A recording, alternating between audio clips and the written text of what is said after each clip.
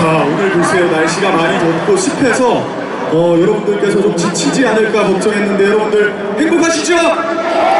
다시 한번 즐거우시죠? 자, 이 무대를 정말 뜨겁게 열정적으로 즐기고 계신 여러분들만 다시 한번 큰 목소리로 소리 질러! 네, 감사합니다, 여러분. 자, 2022 K 트롯 페스티벌 이곳 대구에서 함께하고 있습니다.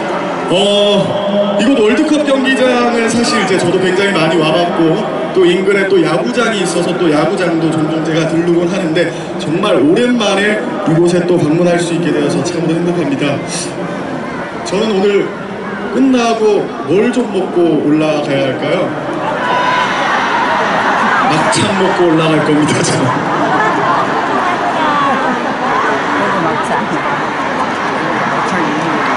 자 여러분 감사합니다. 계속해서 다음 곡 소개 올리도록 하겠습니다. 네 배우시는 여러분 반갑습니다. 대구의 아들 한수희 선호입니다. 반갑습니다.